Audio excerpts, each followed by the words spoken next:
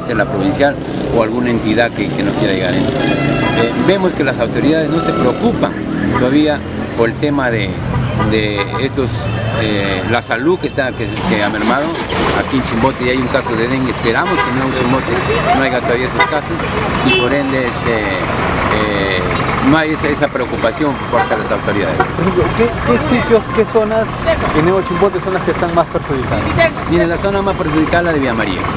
La ampliación de Villa María, la, Brasil y la Perú, todavía, como le vuelvo a decir, no hay una remoción de escombros, a pesar que ya, ya, ya tenemos tres semanas de que haya ha pasado todo este, este tema de la emergencia y, y vemos que solamente se está eh, paliando el asunto en la, en la zona de la Cramarca, o sea, todavía hay un peligro inminente.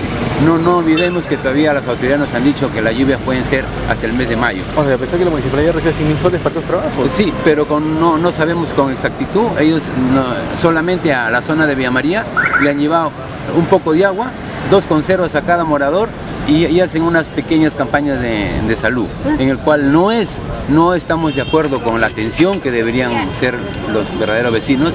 Ellos necesitan eh, ahí eh, el enripiado, ne necesitan eh, otra clase de ayuda, como por ejemplo ayudarnos a levantar su, su, sus casas, lo que se les ha llevado todo el, el huaico, el agua que, viene. Todo eso que se la ha llevado, ¿no? Ahorita, ¿qué es lo que debe, en este caso, qué trabajo debe realizarse ahorita urgente? Para yo, yo lo que hago un llamado a las autoridades, toda la remoción de, del barro que hay en la zona de, de, Vía María, la remoción de escombros. Y no, no olvidemos, hacer una, una, verdadera campaña de recojo de basura, de desechos, que todavía está en la Brasil, la Perú, una presión de Vía María. Eso debe ser con urgencia y, y sobre todo ya ir descolmatando la zona de, del río La Clamarca, por donde se ha salido el lago, para prever una posible inundación. ¿Eso también va a usted en el COER?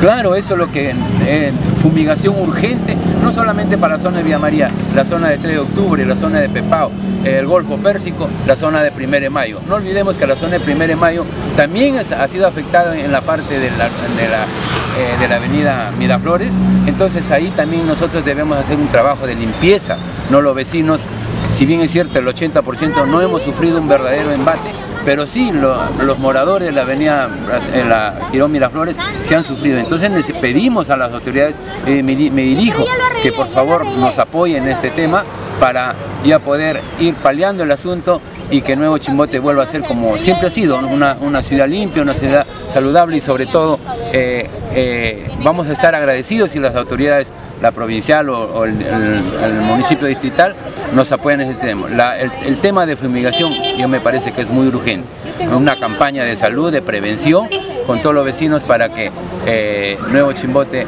eh, nos estemos más tranquilos con nuestras Casualmente en este tema de fumigación, eh, la defensora ha pedido de que el municipio de Nuevo Chimbote tenga mejor coordinación con la red Pacífico Sur, ¿no? Para ver este tema de fumigación. Sí, eh, nosotros también en su momento hemos, hemos pedido esa coordinación, ya que el ente de salud eh, es la red de Pacífico Sur. Entonces pedimos al alcalde que haya una mejor coordinación para que así, eh, no solamente en, en, el tema de, del dengue, sino tenemos el tema del Zika. Muchos moradores de Nuevo Chimbote, ellos tienen tanques, ¿no? Entonces prever todo ese tema y los especialistas de salud deben estar ahí y una coordinación mejor sería lo saludable.